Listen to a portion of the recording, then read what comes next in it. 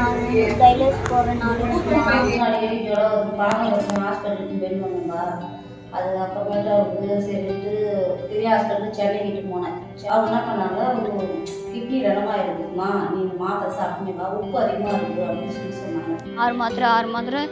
மதியானம் காலையில் நைட்டு மூணு வேலைக்கு ஆறு மாத்திரை அந்த மாத்திரை சாப்பிடுன்னு தான் ஒரு கிட்னி ஃபுல்லாக சரி போய் ரோஸ் கலர் மாத்திரையும் அந்த சிவப்பு கலர் மாத்திரை.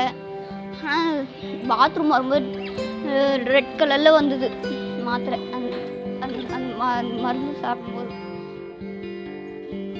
அந்த ஹாஸ்பிட்டல்லே டைலஸ் போகணும் அப்படின்னு சொல்லிட்டாங்க டைலஸ் கூட போடல. மிஷின் இந்த கையில் மிஷின் வச்சுன்னா?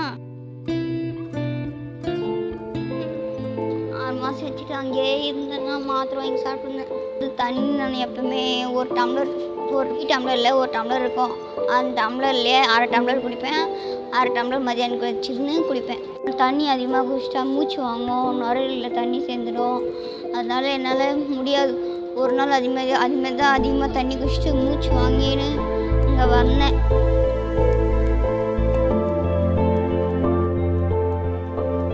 ஆ எங்கள் அண்ணன் இருந்து போய் அப்போ கே கே ஆமாம் பாப்பாவுக்கு ப்ராப்ளம் அப்படின்னு கேட்டுக்கிறாங்க. அப்போ நான் ஒன்றும் கே கல்யாணம் ஆயிடுச்சான்னு கேட்குறாங்க அதிகமாக இருக்கும். இது பஸ் ஏறும்போதெல்லாம் இது வயிறு பேசுறது பார்க்க முடியும் கேட்டுருக்காங்க. அது வந்து அவளே கொடுத்துருவாங்க எப்படி கொடுத்துருவாங்க தான் அவங்களுக்கு சின்ன பொண்ணு தெரியல ஆனால் இப்போ வந்து யாரும் கேட்க கிடையாது. டேப்லெட் பண்ணி கொஞ்சம்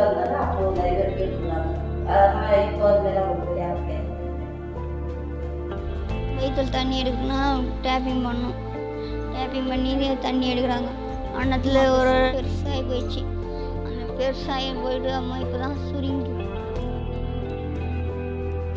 எங்கள் அப்பா கே காசு வேணா கூட காசு இல்லைன்னு கூட சொல்லவே மாட்டார். அப்படியே கொடுப்பாரு.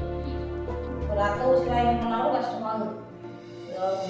வருமானம் இல்லை வேலை இல்லை. இந்த பயன்படுத்தி இது மாதிரி பயிர் வேலைன்னா பயிர் இருப்பாங்க பயிர்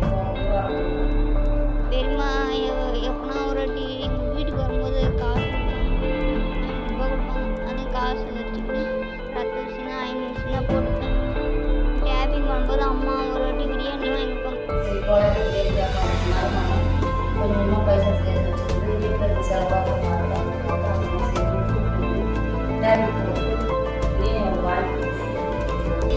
இந்த கொரோனாவில் வந்து ஒரு எப்படியோ கஷ்டப்பட்டு எங்கள் அப்பா லாரியில் லாரியில் பொறிட்டு வந்துருக்காரு நான் லாரியில் அசிங்கப்பட்டு ஒரு மாதிரியாகி எல்லாம் அப்படி இப்படி வந்துக்கிறோம் நாங்கள் கிட்னி மட்டும் எங்கள் அப்பா டெய்லியும் திருப்பதி திருப்பதி வேண்டுவார்.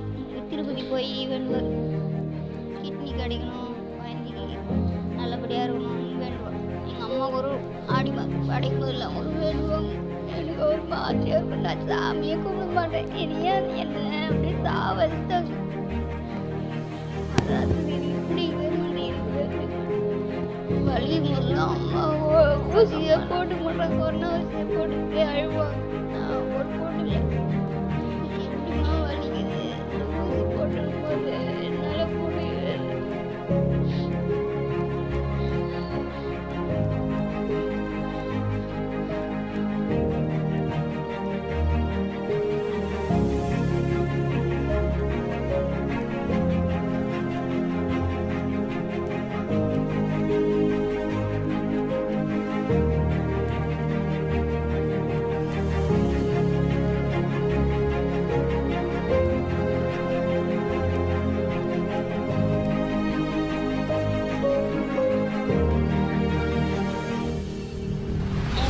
தாத்தா எனக்கு ஐபிஎஸ் இதில் வச்சார் எல்லாருமே ஸ்கூலில் என்ன ஐபிஎஸ் தான் கூப்பிடுவாங்க.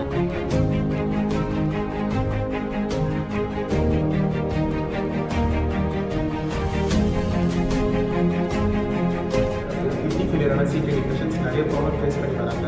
அதில் ஒரு பேஷண்ட்டோட சில பிரச்சனை தான் இருக்குது இன்னும் இந்த மாதிரி நிறைய இருக்குது இந்த ரேஞ்சுக்கு நம்ம போகணுமா? முன்னாடியே தடுத்துடலாமே நம்ம கவனிக்காமல் விட்ட சின்ன சின்ன விஷயம் தான் வந்து இப்போ இல்லைனாலும் நாளை பின்ன நாலு வேலை பின்னாடி பெரிய பிரச்சனையாக வரலாம். ஸோ அதெல்லாம் வந்து முன்னாடியே தந்துடலாம். டாக்டர் ஆலோசனை இல்லாமல் இதெல்லாம் மருந்து எதுவும் எடுத்துக்காதீங்க. மூச்சு பிரச்சனை இருந்தாலோ கால் வீக்கமாக இருந்தாலோ யூரின் அவுட்புட் ஒழுங்காக இல்லைனாலோ உடனே டாக்டரை கன்சல்ட் பண்ணுங்கள் ஒரு வருஷமாக பிளட் ப்ரெஷர் டயபெட்டிஸ் இருந்ததுன்னா அப்பப்போ ஆஃப் பண்ணால் போயிட்டு ரூட்டீனாக செக் பண்ணிக்கோங்க. டிகேடி பேஷண்ட்ஸ்க்கு கீமோடயாலிசிஸ் மட்டும் தான் ட்ரீட்மெண்ட் ஆப்ஷன் கிடையாது. ரேடியோ டயாலிசிஸ் இருக்குது இதை விட பெட்டர் ஆப்ஷன்ஸ்னால் நம்ம வந்து டிரான்ஸ்பிளான்ட் பண்ணிக்கலாம் இந்த பேஷண்ட் ட்ரான்ஸ்ஃபர் பண்ணிக்க ரெண்டு ஆப்ஷன்ஸ் இருக்குது பிளட் ரிலேஷன் ரெண்டாவது ரிலேஷன் பிளட் ரிலேஷன் ஏன் பண்ணிக்கிறேன் அப்படின்னா உங்களுக்கு அதுக்கு வந்து இன்னும் ரெண்டு பசங்க இருக்காங்க ஃபேமிலி சுச்சுவேஷன் ரெஸ்பான்சிபிலிட்டிஸ் இதெல்லாம் கன்சிடர் பண்ணி பார்க்கும்போது அவங்க வந்து கிட்னி கொடுக்குறீங்க வந்து டெலிவரி ரெஜிஸ்ட்ரேஷன் சிஎம் நம்ம சிஎம் இன்சூரன்ஸில் வந்து டயாலிசிஸ் பண்ணியிருக்காங்க சிஹெச்சில் வந்து கிட்னிக்கு வந்து அப்ளை பண்ணியிருக்காங்க நம்ம ப்ரியாரிட்டி பேசிஸில் வந்து கொடுப்பாங்க இப்போ வெயிட்டிங் லிஸ்ட்டில் இருக்கிறாங்க ஸோ வந்து ஆல்ரெடி மூணு வருஷமாக வந்து சில தவறுகளை விளைவிக்கு விதைகின்றன நம் வாழும் வாழ்க்கை பழக்கம் எடுத்துக்கொள்ளும் உணவு அளவு இவைகளை தெரிந்து கொள்ள வேண்டும். தவறு எண்ணங்கள் இருந்தால் சரி செய்து கொள்ள வேண்டும்.